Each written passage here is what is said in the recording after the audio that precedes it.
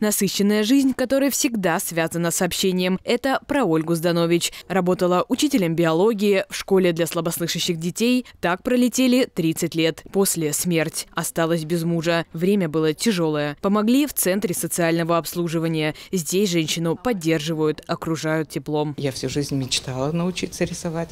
Вот, и а, из техник я представляла только акварель. Ну, иногда гуашь.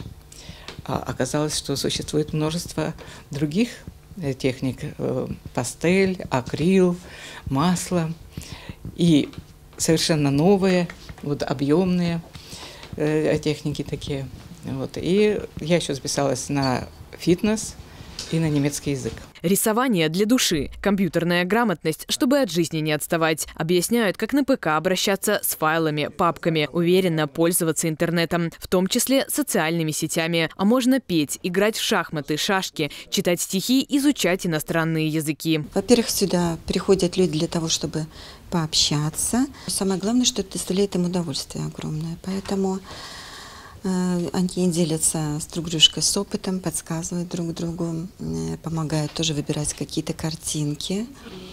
Э, вместе мы, бывает, пьем чай, общаемся, делимся историями со своей жизни. Для сердца, ума, здоровья, фитнес и аэробика. Работают и в этом направлении. Здоровый образ жизни – залог долголетия. Занятия проводят как в помещениях, так и на свежем воздухе. Скандинавская ходьба – настоящее лекарство от хандры и болезней. Улучшает координацию и внимание, укрепляет мышцы и поднимает настроение. Заниматься можно в любую погоду. От вас требуется удобная одежда и специальные палки. Стоят они в среднем 50 рублей.